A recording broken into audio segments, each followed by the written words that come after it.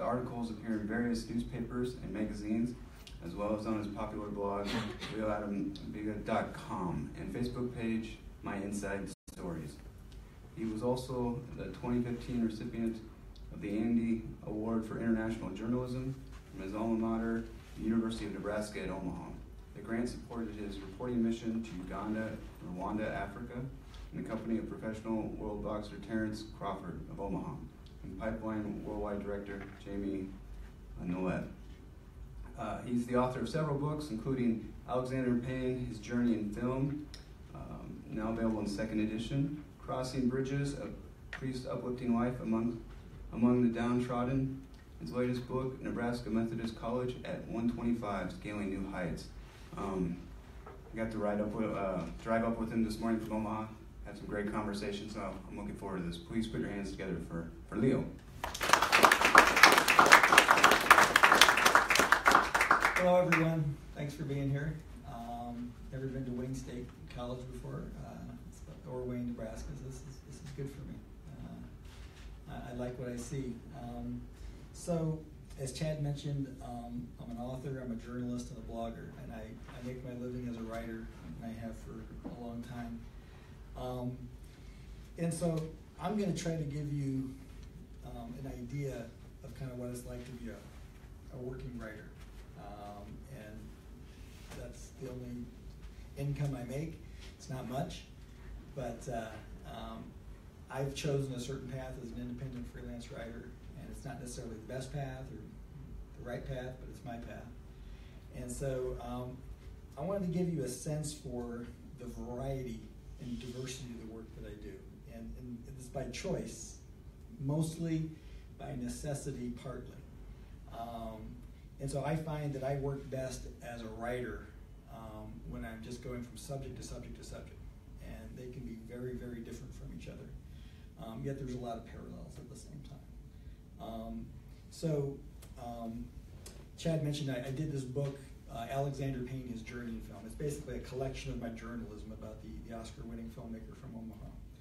And I go back with Alexander to like 1996, 1997, something like that. And there's a whole story about how I came to him. It had something to do with my having been a film exhibitor um, before I was even a journalist. Um, and then eventually my film buff passion merged with my journalism. And he and I, I came to him as a journalist. He came to me as a subject. Um, and so um, it's interesting to be have that kind of association with one subject for the length of time that I've, I've had. Um, I just saw his new film Downsizing uh, yesterday at a press screening at the Dundee Theater in Omaha, and uh, um, it's it's a it's a provocative work. Um, you'll, you'll, want to see it um, if you're a, a, film fan at all. Um, uh, I won't say many more about it than that, uh, but uh, definitely seek it out. Um, so I began again co- covering him I think I first interviewed him in like '97, I think it was. And, and this this was the first uh, profile I did of him. So he was much younger then, obviously. um, he's mid 50s now, and he was in his 30s then. Um, and so basically, the book is is this collection of, of probably 30 fairly depth pieces about him. Some of these are three or four thousand word profiles, features. Um, and what I've always been most interested in is his creative process, and so that's that's the direction I've always go when I report about him, or nearly always go. I'm not going to find out a lot about his personal life in my articles about him, um, and so you won't find much about his personal life in the book. Um, but you will find out kind of how he thinks about cinema and, and about life to, to a certain extent. Um, and so, yeah, these have all all these articles have been for local publications. Basically, almost all the writing I do is for the, the local market. Uh, although I've, I've, written for statewide Nebraska publications, I've written for the Norfolk Daily News, the Grand Island Independent, North Platte Telegraph, et cetera, et cetera. But mostly Omaha market publications. Um, and probably did the most writing about him early on related to About Schmidt, just a, just a whole slew of pieces that I did. Um, my favorite time in writing about him um, actually came in that long period when he didn't make a feature film, as you may recall. Uh, there was a long sort of layoff uh, between Sideways and The Descendants. Um, but it wasn't like he wasn't doing anything, he was doing lots of things. Um, but I did get the opportunity to be on the set of Sideways for a week, and I was the only journalist there. And it's, it's forever spoiled me because I had complete access to everything and everyone uh, for that time. It's not quite been that way since, um, uh, although I still have uh, a lot of nice access to him. You'll, you'll see the changes in him over the years. And if there were pictures of me, you'd, you'd see the parallel changes in me.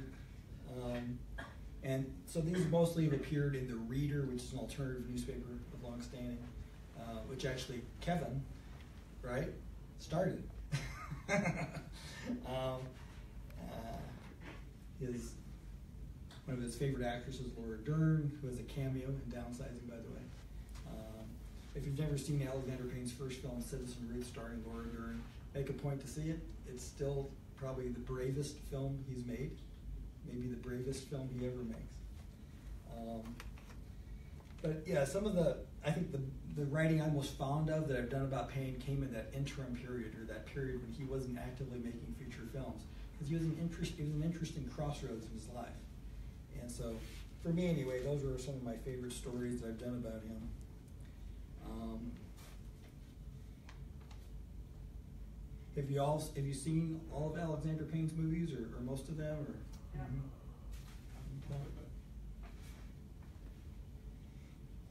This is probably my favorite cover. It's not of Payne, but. Oh, yeah. Um, so anyway, this gives you an, an, idea of really what the contents of the book are, um, and there's more than that. Uh, um, and it's an example of how journalism can lead to book projects. Now, nobody came to me to write the book, and Alexander Payne didn't ask me to write the book. I wanted to archive my, my collection of journalism and make sure it was preserved in a hardbound way. And that was the main motivation for that project. So self-published. Uh, I have a new edition out with updated, expanded coverage. Uh, another project um, about a much lesser known individual, but no less interesting. Uh, I, st I, started reporting about this retired Catholic priest, uh, Ken Vavrina, who had a long association with Mother Teresa. Um, and that led to him actually commissioning me to write his, to ghostwrite his autobiography. And so it's interesting how these things happen. And I have a feeling more projects like this will result as time goes on. Um, but back to diversity and variety. So I'm all over the place. I write a lot about arts and culture subjects. I write a lot of social justice pieces. Um, I write a fair amount about sports. Um, so this this was, I think, the leadoff piece, or if not the leadoff piece, yeah, it was, um, for a series that I wrote on Omaha's black sports legends. We called it Out to Win the Roots of Greatness. And this is Bob Gibson, for some of you who may not, some of you have no idea who that is, I know that. Uh, Hall of Fame uh, baseball pitcher uh, from Omaha, pitched for the St. Louis Cardinals. Um, Creighton University graduate. Um, and so I had the privilege of interviewing Gibson and a lot of other legends, Gale Sayers and Johnny Rodgers and Bob Boozer and all these guys, Ron Boone, mm-hmm. and the, the list goes on and on, Marlin Briscoe. And um, for a long time, time now, I have had the idea in mind of taking that collection of work and making that a book. So I need to find funding for that. So if you have any ideas about funding, uh, be sure to let me know. Oh, good. All right, but we'll talk later. um, so, uh, diversity.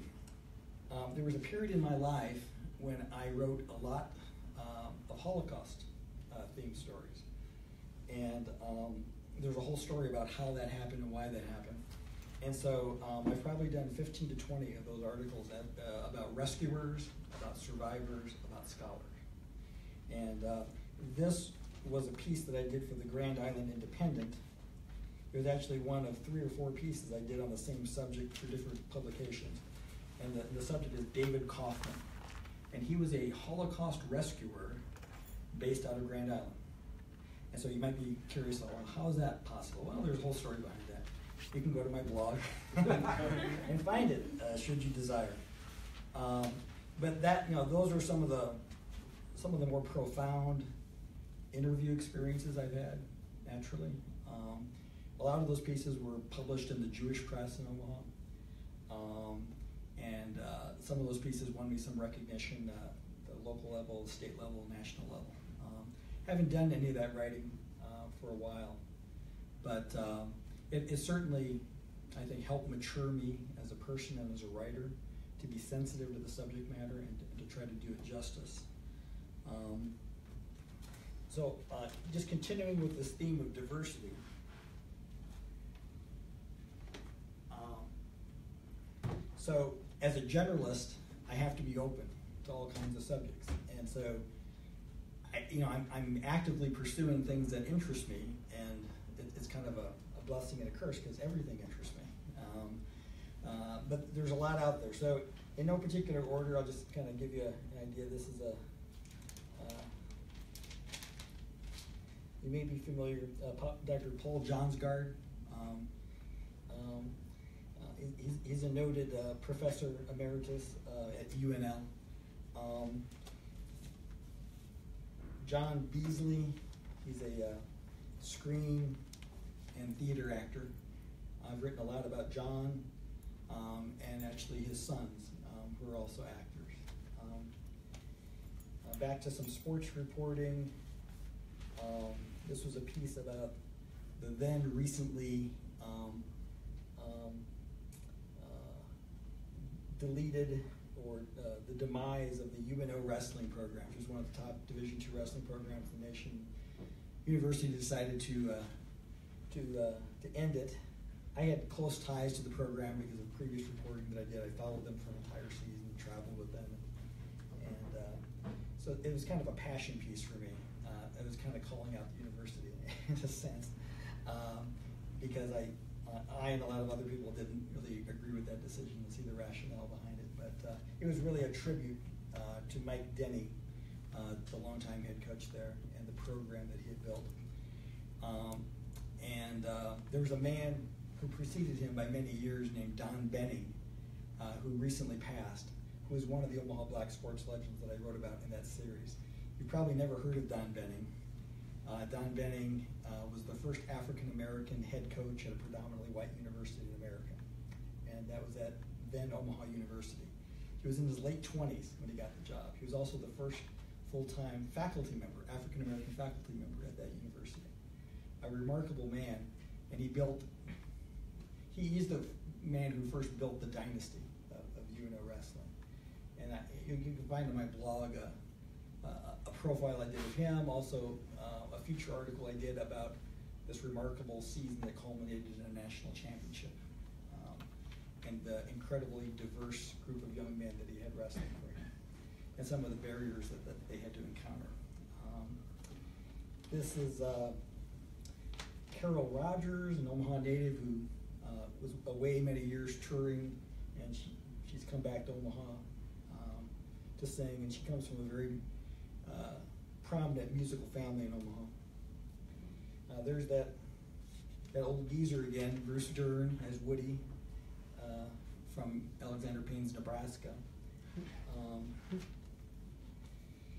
uh, this is uh, Lew Hunter, who is a, a screenwriter, um, a producer, uh, teaches a screenwriting colony in Superior, Nebraska, a longtime UCLA screenwriting instructor, and kind of one of the gurus of screenwriting, the how-tos of it. Um, uh, he's one of my favorite subjects. I've written about him certainly more than once. Um, you probably all recognize this guy. I finally caught up with him after you know 30 some years as a journalist. This in the last two years. Um, uh, I used to write a lot about authors. Those were the days when I could get the Reader newspaper to assign me a 4,000 word cover piece on an author. That is not possible anymore. Uh, they don't assign that long, and they certainly don't want an author uh, gracing their cover. But anyway, I've written a lot about Ron Hansen, who's one of the, the finest uh, uh, writers that Nebraska's produced in the last half century, certainly. And this was the most recent piece that I did on him. And that was in relation to his uh, new novel on Billy the Kid. Another singer, Camille Metoyer Moten, who's kind of an Omaha legend. Uh, this is recently retired head of the Center for Afghanistan Studies at UNO, uh, Tom Gouttierre, who I had written about 20 years before. um, and that happens when you're around as long as I had been. Uh, you often return to subjects, or they return to you. It all seems to work out that way. That, that, that publication, The Reader, uh, I do a lot of their cover stories. I've probably done three or four hundred cover stories over 20 years. And so this was on philanthropy, this was on housing discrimination, poverty, faith, uh, healthcare, the high cost of healthcare, uh, the new Blue Barn Theater,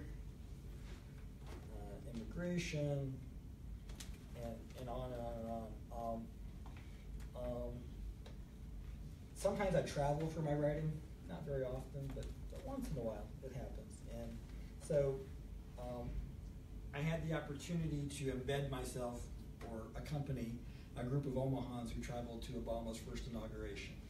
And that resulted in, in this story. And, and, you know, that was an interesting, very intense experience uh, with uh, mostly uh, African American uh, group of individuals. Um, and so got some great stories. It was a, it was a very good experience. Um, one of my favorite subjects is Hadley Heavin. I love Hadley's story. Uh, Hadley uh, became a classical, a prominent classical guitarist in the Spanish tradition. At the same time, he uh, was a professional rodeo competitor. yeah, uh, Vietnam Vietnam combat vet. Uh, has taught for years at UNO. Um, and he was uh, mentored by one of the, the legends of, of Spanish classical guitar, uh, who adopted him basically as a son and lived with him in Spain. Good story. I've written about him more than a few times. Uh, probably recognize this gentleman.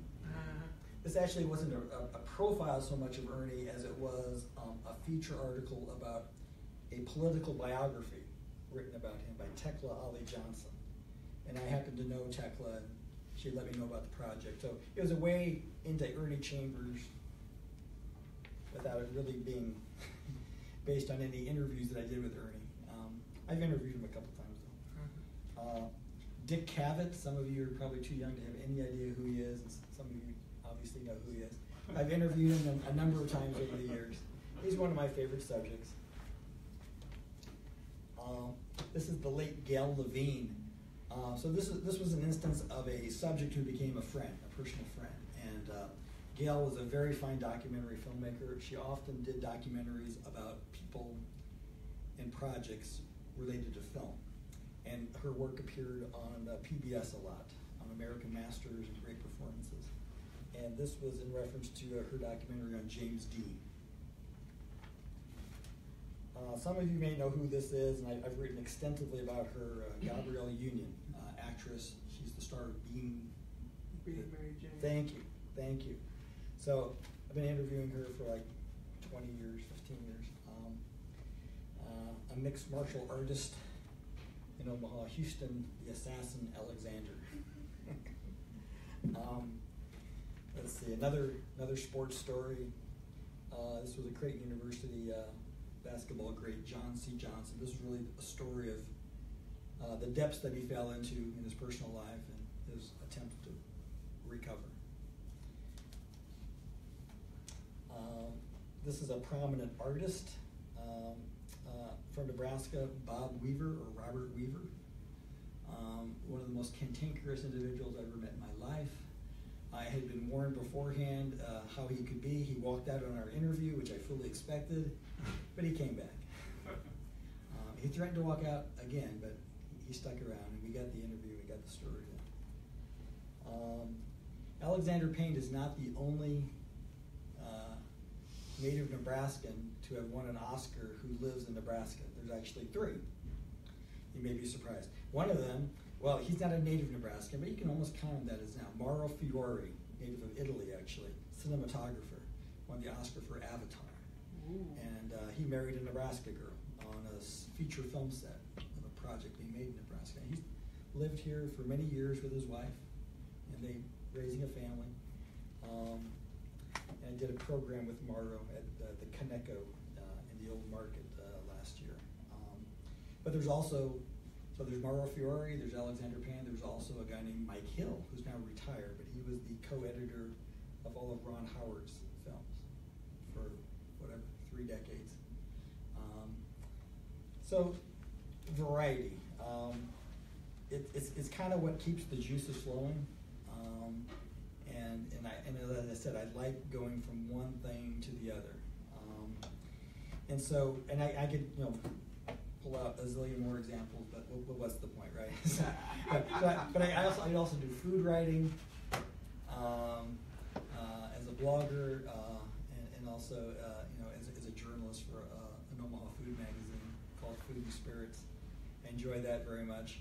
Um, and uh, as I say, just kind of in all these different pools of writing. And in order to make a living the way that I'm doing it, I, I have to be in these different pools. And so um, the only thing that keeps me going, uh, making this possible financially, is if I have an active book project. Ideally, two or three. And these are not book projects, you know, associated with major publishers or anything like that. These are privately commissioned projects, uh, either between myself and an individual who's hiring me to write their uh, to write a biography or an autobiography, or between myself and an institution. And so the most recent of those was um, uh, one of the projects that, that Chad referenced in his intro. Um, um, I think I actually had the title backwards actually on there. Uh, Scaling New Heights, Nebraska Methodist College at 125. And so it was their the history of the college. And I only got that project because they first approached a colleague of mine who passed on it and recommended me. And so I met with all the gurus from the college and they decided, sure, we'll give it to you. And they paid my, my mortgage for 16 months. Um, and, you know, because those are, by comparison to what I, is my stock in trade writing for publications like this, which pay very, very little, that was like real money. Because an institution is not averse to paying you what is essentially professional services, because that's what we're talking about here. Um, so I, I could talk for 45 minutes just about payment, but it's too painful. and and you, you don't want to know about that. Um, but let's just say it's, it's, it's a challenge to make a, a living as a writer. Uh, as a writer, I mean that, that's a given. It's like being an actor. Um, but uh, I, was telling Chad on the drive uh, up here that uh, a new client of mine who found me via LinkedIn. Um, it's a uh, new media company that reports on commercial development, commercial real estate development projects. And so, at first, when they approached me, I said, "Ah, "I'm not sure about this," but they're lo- allowing me to write feature stories just as I would for the Reader or any of these other publications. And it turns out there's a lot of great subjects, and they're paying me exceedingly well. So that's working out very nicely. Um, so you never know where the work's going to come from. Sometimes it literally comes to you, and those are always God sends, and other times you have to seek it out. Um, it's kind of all over the place uh, in, in that sense. Um, I wanted to read a few things uh, for you, just you get a sense for who I am and how I am as a writer. Just bear with me a second.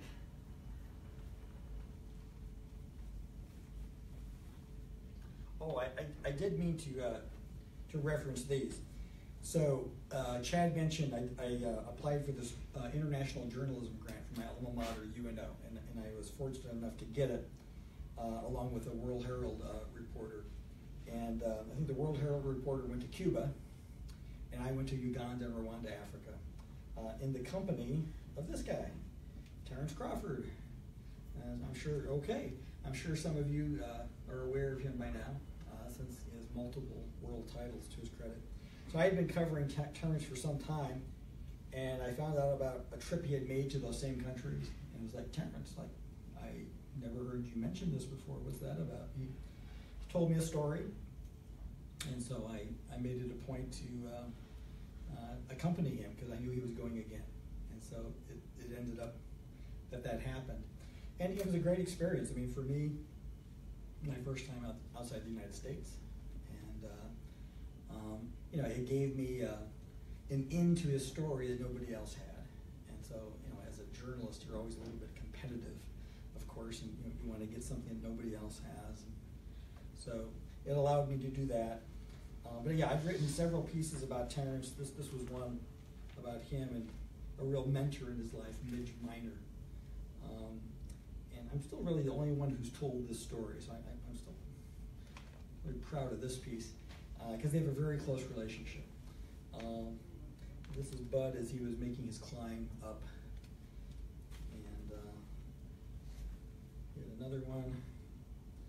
And then the, the pieces that I did um, related to the, uh, the Africa trip appeared in, in a couple different publications, and this, this was the one that was probably the, the most in-depth. I, I think counting the, the photo, the photo layout pages and, and the, the content of the story, uh, this is like twelve to sixteen pages and additional content online as well. Um, I've been doing this a long time, so, um, I'm a little greedy because when I started, I, I was used to getting these three and four thousand word assignments, and so I became kind of the long form journalism guy in Omaha. And then all that went away, and I really miss it.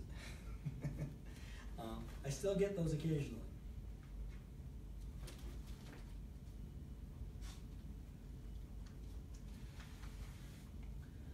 Okay. Just to give you a little sample of what I do and how I do it. So this this was a piece for the reader about what we call the hoops culture. It had to do with a certain recreational basketball league uh, on the north side. Once the hoops get rolling in the Sunday Men's Recreational Basketball League, the scene turns into the kind of urban soul fest you associate with Chicago, Detroit, Philly, or New York. Only this is Omaha. The hold basketball has on urban America is a function of the sport's simplicity and expressiveness. Only a ball and a basket are needed for players to create signature moves on the floor and in the air that separate them, their game, and their persona from the pack. Not surprisingly, the hip hop scene grew out of street ball culture, where trash talking equals rap, where a sweet crossover dribble or soaring airborne slam resembles dance, and where styling gets you props from the crowd or your crew. Music and hoops go hand in hand.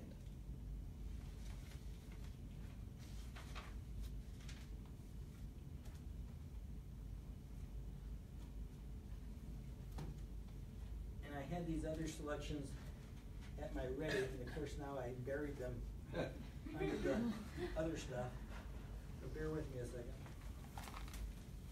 There are a few pieces I, I, I specifically wanted to, to read um, because of a couple nice things that happened this week where I got uh, emails from two separate individuals pertaining to two separate pieces that I did for the reader in the same year, 1996. So, like, what are the odds that you'd hear from someone relatively out of the blue about pieces you did 21 years ago? But that happened. Um, and that's just an indication, or that's just an example of how, you know, I'm not telling you anything you don't know, but words can carry power and meaning. And that meaning can, um, can cross over time and distance. And uh, you know, I got those emails. I mean, I was really affected. Um, um, so if I can find the relevant pieces.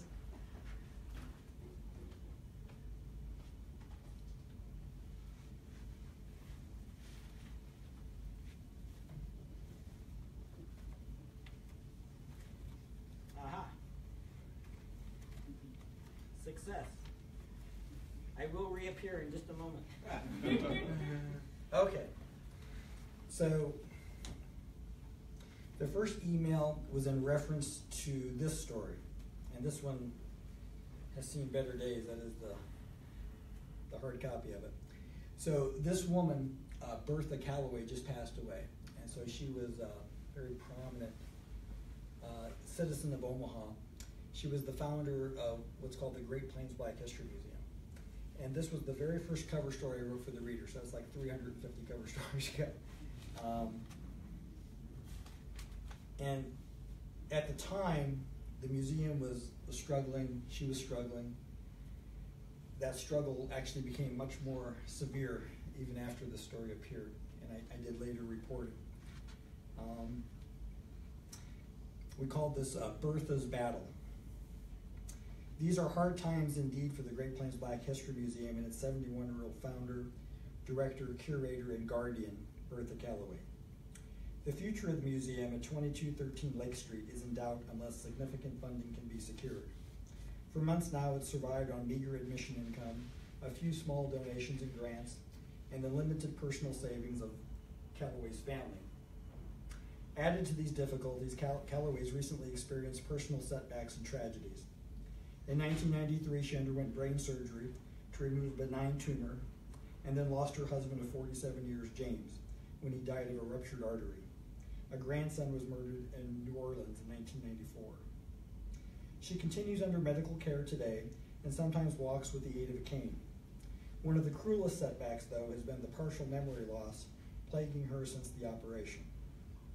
As one whose work depends on a steel trap mind, she's keenly frustrated when once indelibly etched names, dates, places, and events elude her just beyond her recall.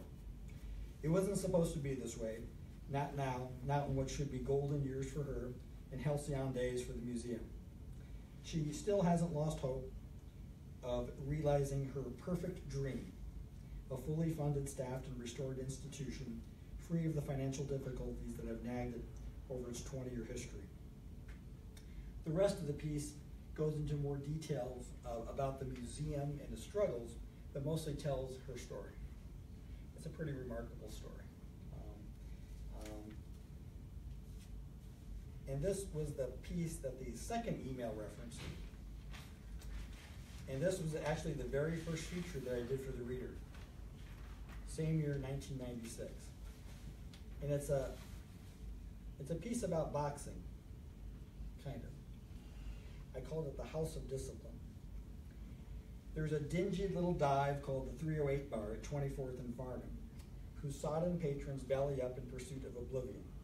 Directly above the bar, a world apart, is an athletic retreat, where modern day where modern day Spartans engage in a punishing physical regimen, offering renewal and redemption. The first is a public house of pain, the second, a private house of discipline. As dusk falls over downtown on a raw, windy day in February, a short but well chiseled uniformed cop with dark green good looks, Vince Perez, glides with cocksure grace toward the bar, which he bypasses to step inside a glass fronted entrance next door. A shabby carpeted staircase enclosed by water stained and paint peeled walls takes him one flight up to a dim landing poised between empty offices. He follows a hallway to a bare, unvarnished pine door, behind which the rhythmic sounds of leather lashed discipline reverberate. And so basically, it became kind of a somewhat of an atmospheric piece um, about the men, that is, the boxers, and the men who mentor and coach them. And, and um, the guy who sent me the email was one of the boxers. He's now a public defender in San Francisco. And he had recently moved to Omaha, uh, attending Creighton University Law School. And he said of all the time he spent in Omaha as a student, his closest associations became those with the fighters and the coaches at what was called the Downtown Boxing and so, it, much to my shock, he said that he still has a copy of the uh, of the piece, and that he still revisits it, revisits the piece often. That's how much it meant to him to have it, I guess, kind of captured. And the two coaches, the two head coaches at the time, uh, Kenny Wingo and Dutch Gladfelder, I, I, I, did a separate profile on them. And I don't think he'd ever seen that piece, so I, I made sure I, I sent him a link to that because uh, I knew he would enjoy that. The aforementioned Lew Hunter, the uh, uh, the screenwriter, the producer, the author of a well-known, best-selling uh, screenplay writing guide. Um, I I embedded myself uh, in his screenwriting colony for not quite a week, and so this is this is a part of what resulted. Uh, and, and Lew is one of those unforgettable characters. Twice a year, a fractured, a fractured fairy tale unfolds in Nebraska's Republican River Valley. Superior, a prosaic Nuckolls County border town of 2,055 in the state's most southern reaches, draws dreamers from near and far. They come, some halfway across America, some across the globe, to learn from a professor whose laid back Socratic method is Aristotle meets Jimmy Buffett. The wise man is screenwriting guru Lew Hunter, a favorite son of Superior, born and raised in nearby Guide Rock. He moved to Superior as a boy. His warm, folksy manner belies his incisive mind and Cosmo experience. In a Will Rogers esque way, he's an innocent and a sophisticate. His humor part homespun and part sly wink. He's a product of these agricultural back roads, but has operated in the garish fast lane of LA as a network television executive, producer, and screenwriter. Gregarious and without self consciousness, Hunter bears all in front of guests. His surgically repaired knees, bulging midriff, failed first marriage, foibles, successes, philosophies, his name dropping anecdotes, and fondness for quoting famous writers. He lavishes affection on his two dogs. He casually tells strangers he and wife Pamela both suffer from ADHD.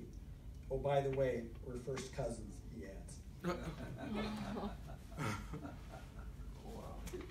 This is a Nebraskan, I'm sure none of you have ever heard of, but he has quite a story.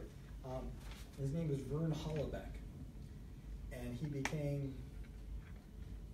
without anyone knowing it, um, a cultural icon because of the cultural icons his company produced, which were basically T-shirts. He kind of invented the, pre- the printed T-shirt industry as we have come to know, and made many millions. And then he made many millions more when he got the rights to uh, produce all the printed apparel for Harley Davidson. And he comes from a small family farm in Clarkson, Nebraska. And uh, we've talked off and on for years about doing a book, but a lot of things keep getting in the way of that. But here's just a little bit of this. When Vern Holoubek left his family's homestead near Clarkson, Nebraska in 1961 for the State University in Lincoln, he fully intended on getting an ag- agriculture degree, then coming home to help his dad run the place. It's what the eldest son of a traditional Czech farming family was expected to do. But by year two in college, a restless Holoubek embarked on an unimagined path as a hip entrepreneur in the printed apparel field. He was in his 20s when the dreamer in him, he expressed a talent for drawing in high school, merged with the pragmatist. It all began with magic markers and army surplus jackets. Holoubek applied basic designs to white parkas he sold at home Husker football games. Then came t-shirts, what became the core of the company he formed, Holl- Holoubek Incorporated. Fraternities snatched them up. His operation evolved from the Alpha Gamma Rho fraternity house basement to the regional festival fair circuit in a downtown Lincoln print shop to a full-scale production plant in Pewaukee, Wisconsin, a Milwaukee bedroom community. Holoubek Inc. became an industry legend and made him a fortune. Many of his t-shirts are collectibles. Vintage Holoubek t-shirts have been featured in many films and TV shows, most prominently in that 70s show. His journey from farmland to boardroom took some unusual routes. He did time as a 40 miler, a reference to his early days hand painting t shirts at carnivals within a 40 mile radius of home. The allure of the road beckoned him to travel ever farther out. He got his ag degree all right, but opted to make a go of this t shirt thing with his wife Terry. The company survived many early struggles. And so on. Uh, he, also, um, a little later in his life, became uh, good friends with Larry Hagman, the actor, and Peter Fonda, the actor. And they were part of the same motorcycle club, and they crisscrossed the country on their Harleys. Um, and then um, I've written about Ted Kooser a few times, and um, also did a piece on the late William Kloefkorn, and on and on and on. Um, I, I, I- love writing about writing and writers. I wish I could do that all the time, but such is not reality. um, but I, I've done enough. So this was just one of the pieces on Kooser. Um, late spring in Seward County will find the wild plums Ted Kooser so fond of in full bloom again. If he has his way, the county's most famous resident will be well ensconced in the quiet solitude he enjoys. Kooser, whose second term as U.S. Poet Laureate is over at the end of May, will return to the country home he and his wife share just outside the south central village of Garland, Nebraska, tucked away in his beloved Bohemian Alps. It's served him well as a refuge, but as a historical personage now, he's obscure no more, his hideaway not so isolated. It makes him wonder if he can ever go back to just being the old, old duck who carefully observes and writes about the wholly ordinary. Um, so that's this is kind of how it rolls for me, uh, uh, going from subject to subject to subject. In the in the current issue of the Reader, for example, it, it's a monthly. For most of its life, it was a weekly. Um, I have the cover story on a young female tech maven, Lashana Dorsey, and it, the story is about busting stereotypes. Um, and part of that is, um, you know, with all the stuff that's coming out about um, sexual harassment that's happened at workplaces and whatnot. Um, so she she uh, is a, is a survivor, uh, let's say, of, of an ugly incident, and uh, she made a very intentional decision not to remain silent about it, but to go public, and she did it via Facebook about a, a year and a half, maybe after the incident. Um, and, and so, in that same issue, I also have a piece on programs in Omaha that are assisting current and incarcerated individuals to re-enter society. And the third piece is on the renovated Dundee Theater in Omaha, which was Alexander Payne's home neighborhood theater, um, and where his downsizing is, is, is premiering. Um, so I don't always have three pieces in the same issue. That's a little unusual, but but again, back to the variety, back to the diversity. That's that is typical. Um, and so, um, a lot of my life is spent juggling. Um, and what do I mean by that? It, it's juggling projects, and and that's just a reality of trying to make a living as a writer. And so it requires organizational skills, which I don't necessarily have naturally. It requires discipline. There's no one looking over my shoulder ever. I, I, am completely my own boss. I do have people I'm accountable to. They're called editors and publishers, but I work 100% from home. And so the only thing, the only constant um, relationship that I have with them is all by email. Once in a while by phone, and almost never in person anymore. I mean, I, I just never have an occasion to meet an editor.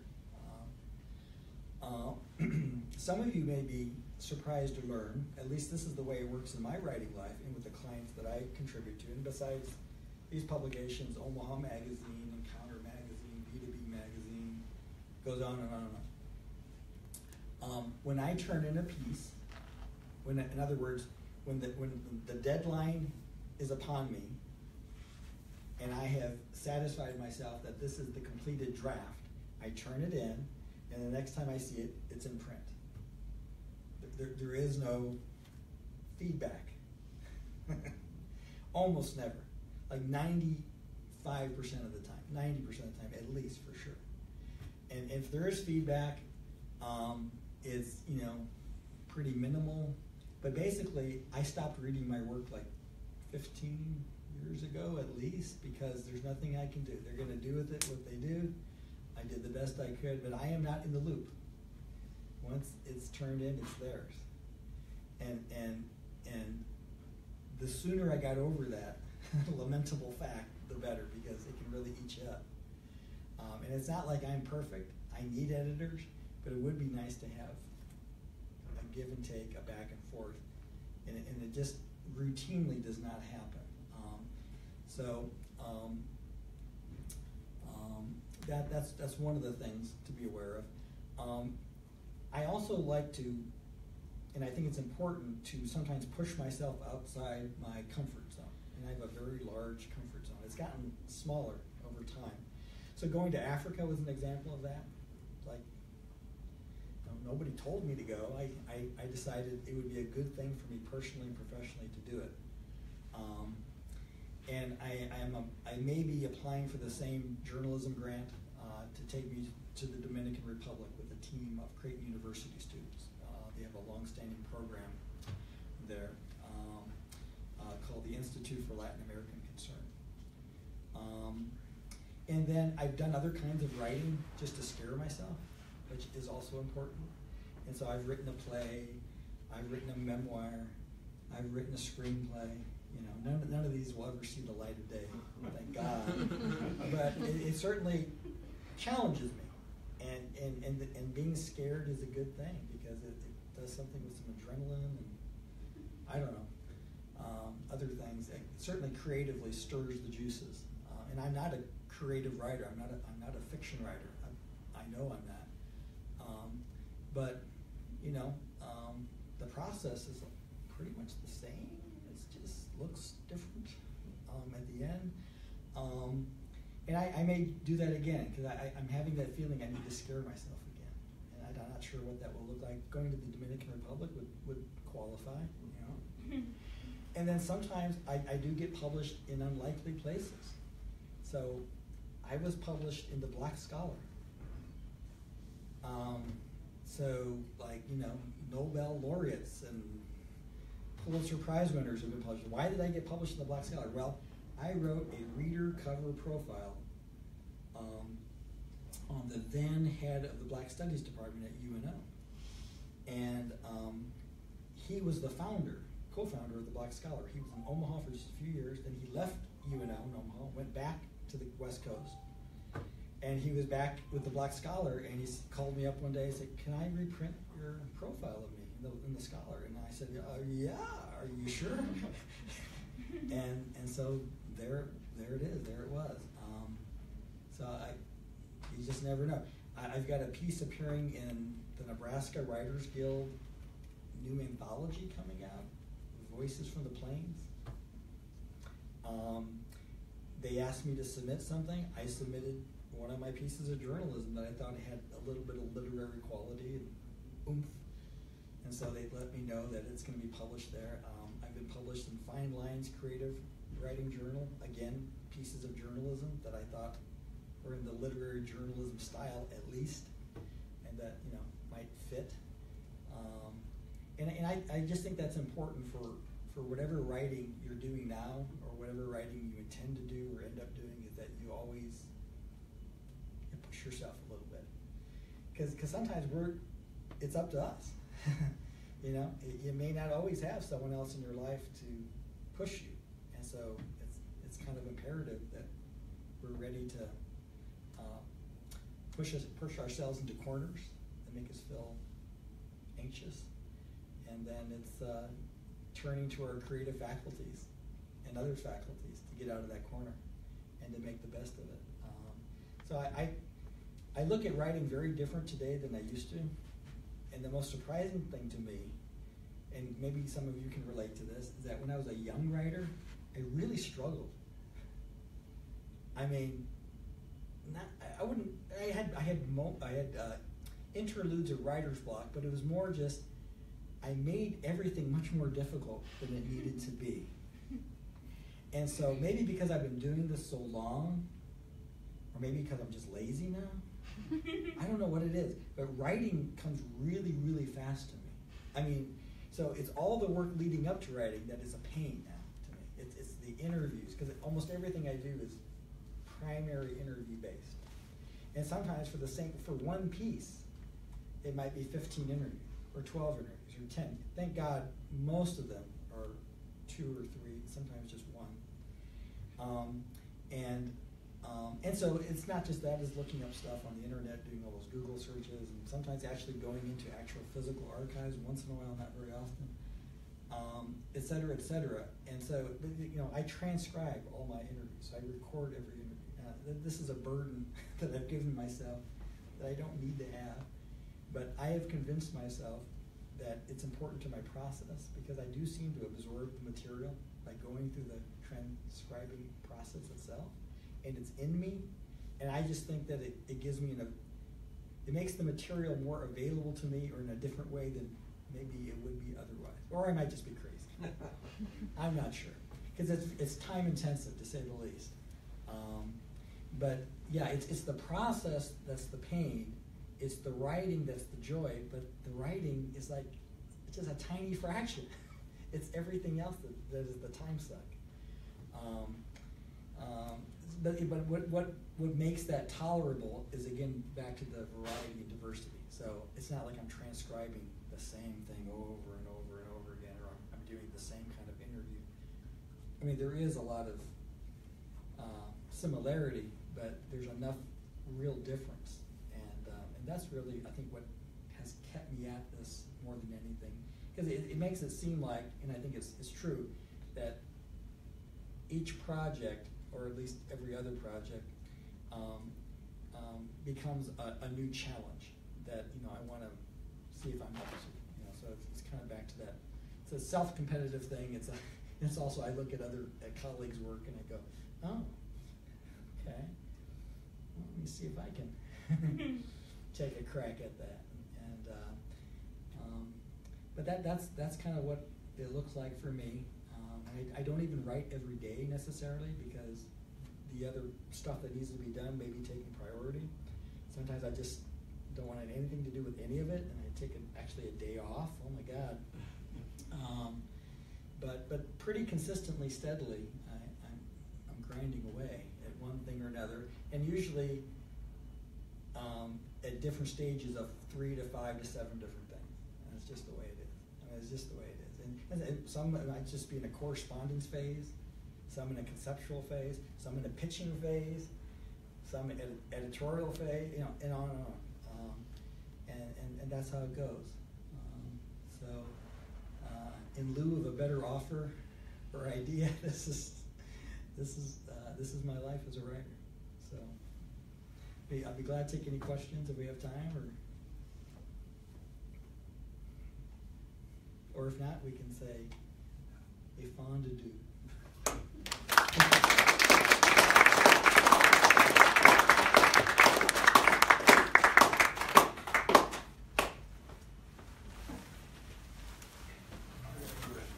Sure.